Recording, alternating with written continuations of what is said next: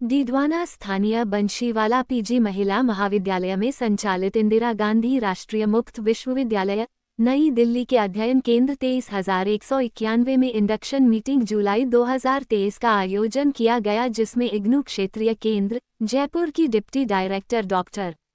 Indu Ravi के मुख्य अतिथि में इग्नू पाठ्यक्रमों में नवप्रवेशित विद्यार्थियों को विस्तारपूर्वक जानकारी देते हुए दूरस्थ शिक्षा के फ़ायदे बताएँ।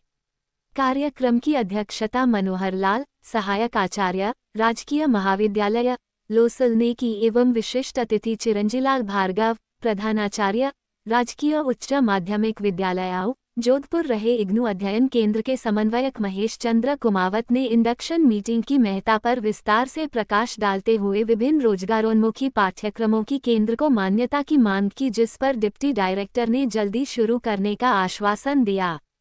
इस मीटिंग में इग्नू लनज ने उत्साहपूर्वक भाग लिया। महिला महाविद्यालय के प्राचार्य डॉक्टर मनोहर सिंह शेखावत ने अतिथियों का आभार व्यक्त करते हुए क्षेत्र की विद्यार्थियों को अधिक से अधिक इग्नू के पाठ्यक्रमों में प्रवेश लेकर लाभान्वित होने पर बोल दिया।